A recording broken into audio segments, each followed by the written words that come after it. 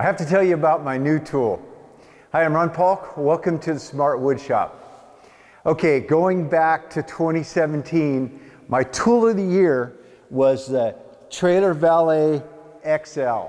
This is the Valet that will move up to 10,000 pound trailer and I've used it to death. Well, I just updated to the XL Pro, essentially the same unit.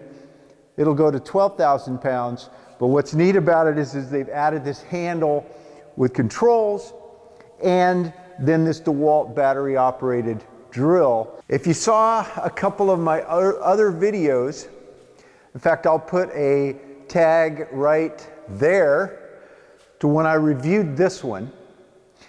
The uh, Trailer Valet sent me one of these for about a week and I got a chance to test it out and see what I thought and I gave you my review on it. Then they sent me for another week the Rover and I'll put a tag to that video right here as well. And so you can see how I tested and, and, and used that one. So after doing that, I decided that I wanted to make it a little easier on myself. This one does everything that this one does. This one just does it a little easier on my body because I can stand up, control with the hands. I don't have to bend over, squeeze the drill, and steer it. Now, for the money, this one costs twice as much as this one, a little bit more than twice as much.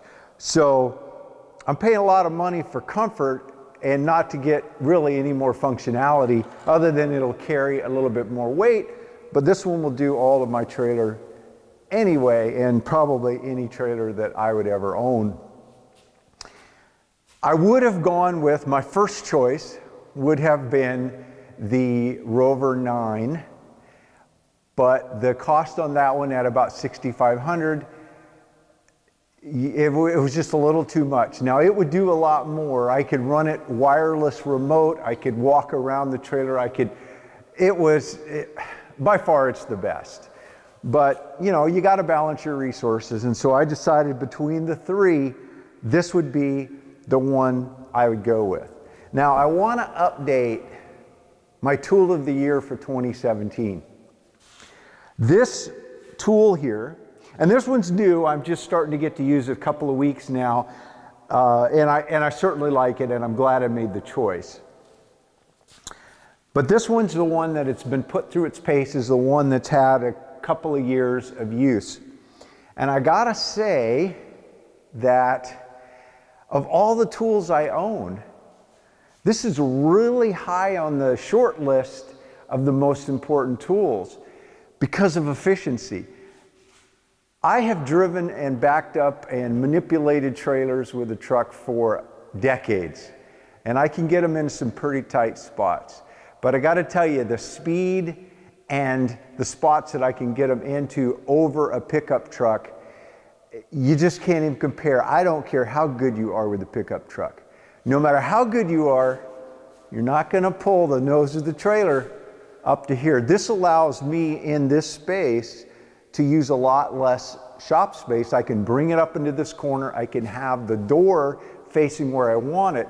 Before, when I had to bring it in with a pickup, I had to back it in and keep it out there so I could drop the door down. And then when I was working at my benches over there, I would have to walk around and get in. And so by turning it around, I've got a lot less steps, a lot more access to my tools. Impossible to do with a pickup truck. You've got to have some kind of device, some kind of tug to move it into these situations. So the cost of these completely goes away when I think about when I build my own space, which is coming. I'll be able to build it a little bit smaller because I don't need to do a drive through, which I was planning. I was planning having a door on each end so that I could drive through, stop my trailer right at the door, drive the truck on out, put the door down, then come back around and put the truck in.